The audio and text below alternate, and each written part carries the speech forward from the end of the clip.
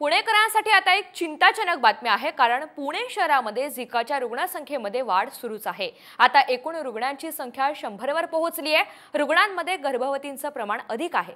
शहरामध्ये आतापर्यंत झिकाच्या पाच रुग्णांचा मृत्यू झालाय. रुग्णांचे वैद्यकीय अहवाल राज्याच्या आरोग्य विभागाला पाठवण्यात आलेले आहेत. आरोग्य विभागाची समिती या रुग्णांच्या मृत्यूचं नेमकं कारण शोधणार आहे आणि यानंतरच हे मृत्यू कशामुळे झालं झाले हे स्पष्ट होणार आहे.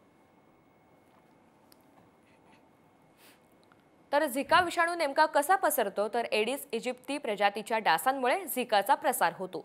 झिका रुग्णाचे रक्त पिलेले डास चावल्यास झिकाची लागण होते. लैंगिक संबंधामधून सुद्धा झिकाचा प्रसार होतो. गर्भवतींकडून बाळाला झिकाचा संसर्ग होऊ शकतो.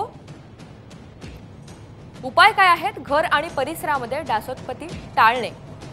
डास चावू नयेत याची काळजी घेणे. अंगभर कपडे वापरणे. आणि घराजवळ पाणी साठू न देणे. भरपूर पाणी पिणे.